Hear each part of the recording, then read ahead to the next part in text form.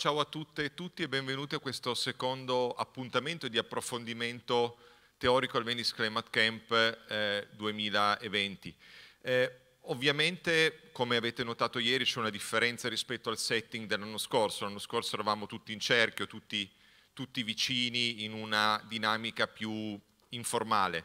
Ovviamente la scelta di quest'anno non è dovuta alla necessità di avere una discussione frontale, alla volontà di avere una discussione frontale, ma è ovviamente dovuta alle, al mantenimento delle distanze di sicurezza rispetto al Covid, anche questo fa parte della cura comune che stiamo provando a mettere in pratica in questi giorni. Ciononostante spero che come ieri il dibattito è stato molto partecipato, ci sono stati tanti interventi, ce ne siano anche oggi, quindi invito tutti a non farsi, diciamo così, intimidire dal, eh, dal, dal setting di questa, di questa, discussione, ma so già che non sarà, che non sarà così.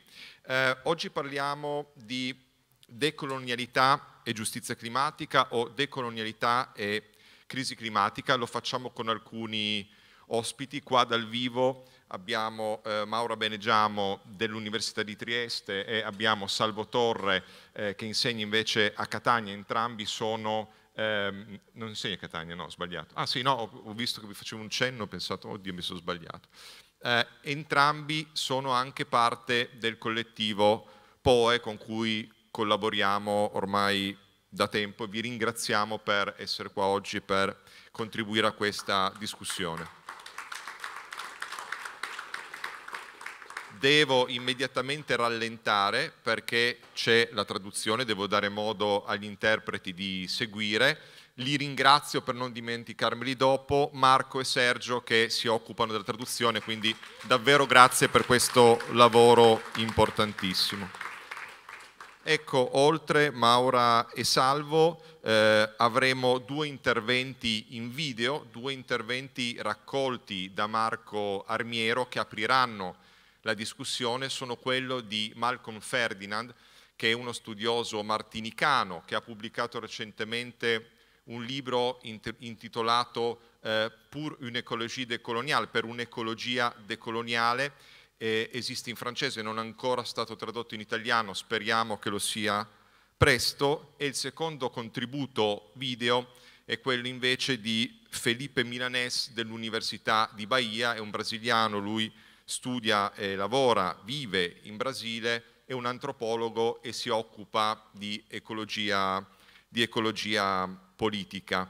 Um, quindi davvero anche un grazie a Marco Armiero per aver raccolto questi importanti contributi. Io provo semplicemente da assoluto profano dell'ecologia decoloniale a, alcuni, a offrire alcuni spunti alla discussione che spero poi Maura e Salvo vogliano eh, raccogliere eh, e parto proprio da quello che sentiremo e vedremo nei video. Parto dal libro di, eh, di Malcolm e sentirete che Marco Armiero pone proprio come prima domanda a Malcolm una domanda appunto la, la prima, la più diciamo immediata, cos di cosa parliamo quando parliamo di ecologia decoloniale?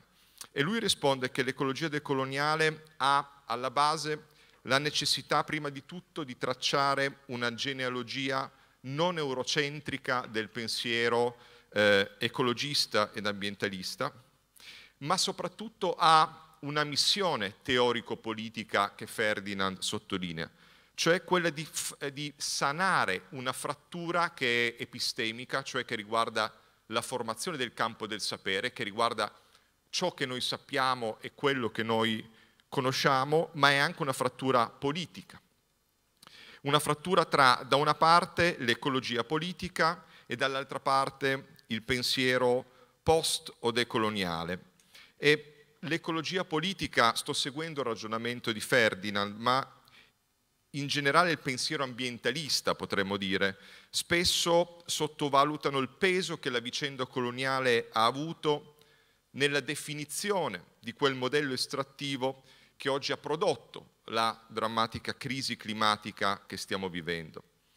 Questa sottovalutazione, che ovviamente non avviene sempre per fortuna, Ferdinand in qualche modo isola una tendenza, questa sottovalutazione comporta una seconda sottovalutazione, quella del ruolo delle soggettività negre, che Ferdinand usa questo termine, intendendo il termine negro come qualcosa che descrive tutte le soggettività eh, razzializzate, subalterne, non bianche. Quindi una sottovalutazione delle soggettività negre nella loro capacità di mettere in pratica modalità non estrattive di abitare il mondo. Ferdinand nel suo libro parla dei Caraibi, si riferisce naturalmente agli indigeni, ma si riferisce anche ai cosiddetti Maroons, cioè ovvero agli schiavi neri che si liberavano dalle piantagioni e fuggivano sulle montagne, sulle colline di Haiti e della Giamaica, mettendo in pratica un modello di vita, forme di vita che Ferdinand richiama come ecologicamente assolutamente radicali e compatibili. E questa è la prima frattura. In maniera speculare, però, ci dice Ferdinand, altrettanto spesso accade che il pensiero postcoloniale e anche le lotte antirazziste, sempre questa doppia attenzione al campo dei saperi e al campo dei movimenti, spesso non mettono in luce la centralità del dato ecologico. E allora com'è possibile ricomporre tale frattura?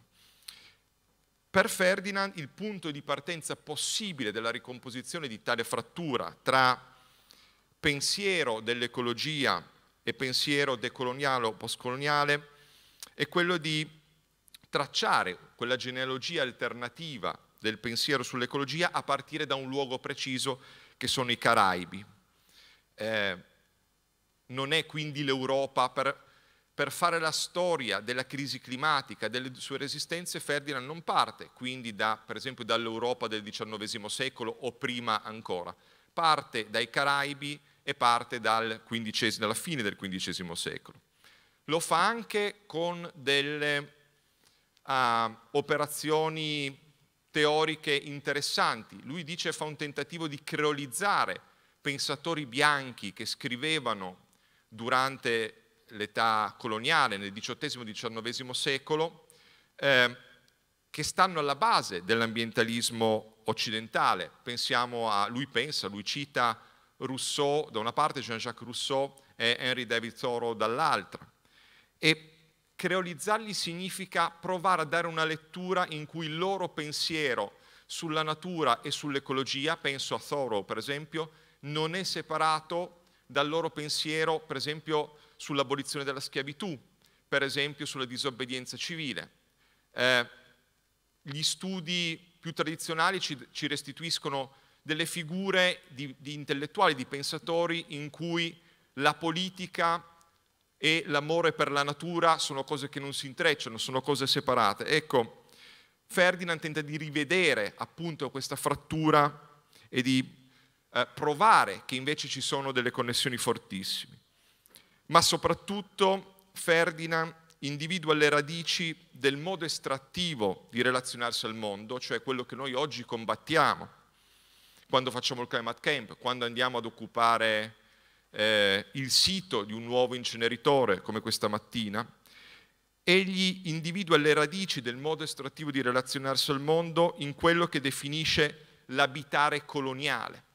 Lui dice, tutti, molti, non tutti, ma naturalmente molti dei problemi che oggi riguardano questo capitalismo della catastrofe, che ha superato addirittura il capitalismo dei disastri cui aveva, su cui Naomi Klein ci aveva, ci aveva messo in guardia, bene, questo modello estrattivo ha una delle sue radici, secondo lui, nel modo in cui i coloni hanno iniziato a partire dal XV secolo ad abitare le colonie, in particolare i Caraibi. E su cosa si basa questo abitare coloniale?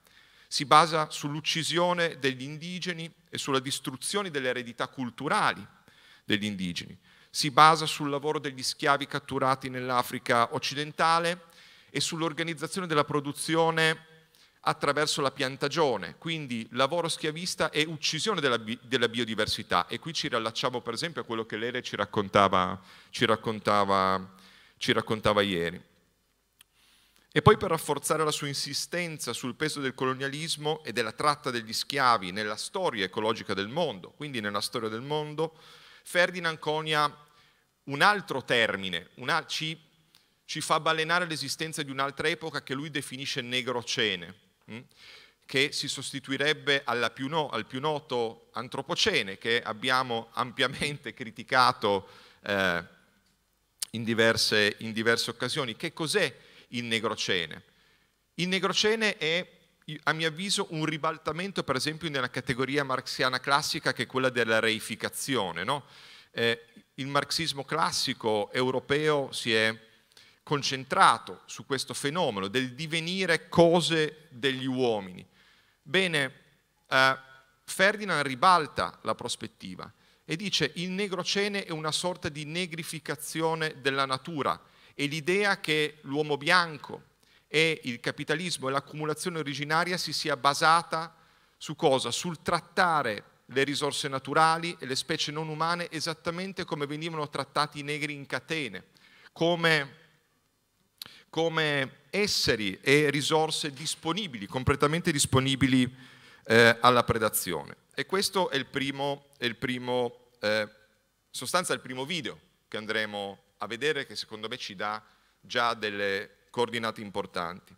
Il secondo durano in tutto un quarto d'ora, quindi non sono brevi ma non sono lunghissimi, però ci sembrava importante eh, proporli, poi saranno disponibili in versione integrale perché non li vediamo tutti naturalmente su Global Project.